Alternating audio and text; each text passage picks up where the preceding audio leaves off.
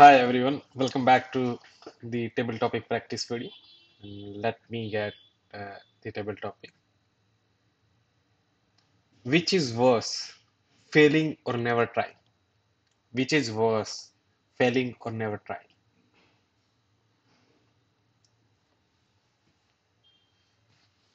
Which is worse, failing or never trying? What I feel about this topic is my opinion is always uh, go for like trying things.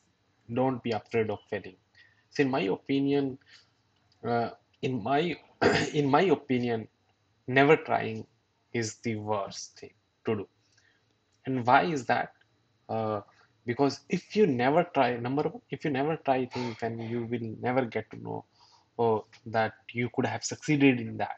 For example, I want to uh, run marathon, but initially when you complete marathon, there is a practice, right? You need to you go into the rhythm. You need to practice running And if you first time you try and you think uh, that marathon you will complete the marathon and you have feel fear of failure that you will not be able to complete it, complete it. That's why you never take part into it because of failure, yeah, because of fear of failure, right? So you never tried and you could have become the one of the best marathon runner, right?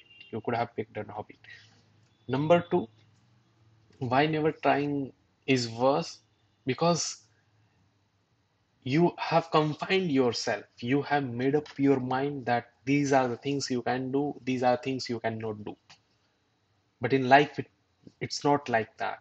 We have seen various miracles that the person could not fathom could not imagine that he could do that. But in that moment he had done that right?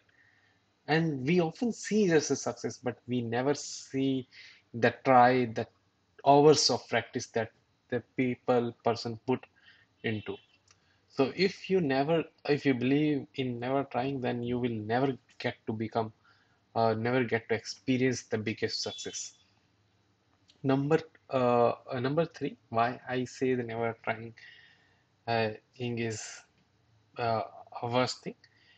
If you never try something you are missing a joy. Life is all about trying and uh, see things if it's working or not. You would want to become an actor but you never try because it's a high entry barrier field and you see eh, that you are not a good actor. But maybe you are. So you have confined yourself you are not believing on yourself uh, and you if you do not believe in yes, yourself then who else will?